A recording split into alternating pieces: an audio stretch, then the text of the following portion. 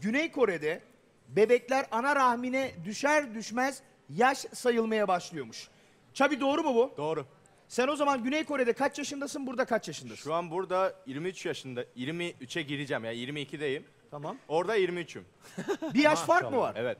Neden böyle? Ya ana karnındaki 10 ayı bir yaş olarak sayıyoruz. Dolayısıyla bizde aslında Türkiye'de de bu çok şey 10 ama bizde de kürtaja biraz daha karşı. Çünkü o içindeki bebek yaşıyor.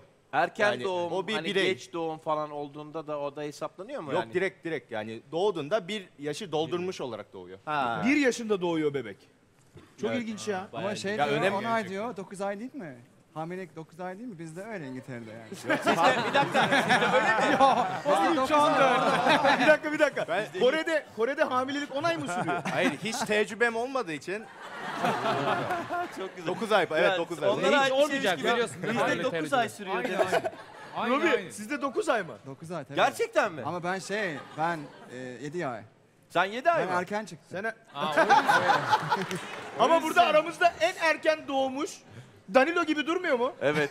Niye, niye abicim be? Sen 7 aylık gibisin. Bak, yemin et abi. Yemin ederim. Yok yok ben tam 9 işte. Peki bir şey diyeceğim sana. Sizde bir de doğum günlerinde enteresan bir durum var değil mi? Herkes 1 Ocak doğumlu mu sizde? Yok canım. E, öyle demiştin sen. Yani Hayır. yeni yıl sizde doğum günü olarak da algılanıyor değil Şöyle, mi? evet. Yeni yılda bir yaş büyüyor.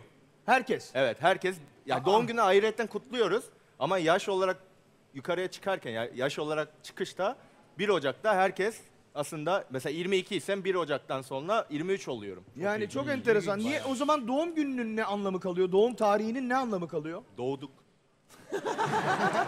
Doğdun ama büyümen Ocak. Evet. Hani doğdu ama şu an büyüyor. Hani Peki- gün aldı gibi. Bir şey diyeceğim. O zaman doğduğun tarihte de bir yaş ekleniyor mu?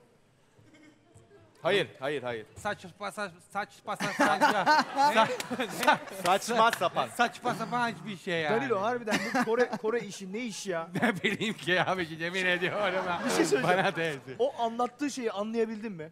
Tabii ki de yok ya kimse. o zaman bu çocuk her sene 2 yaşında büyük oluyor. Hayır abi. 1 öyle Ocak değil ya. bir doğum günü olacak.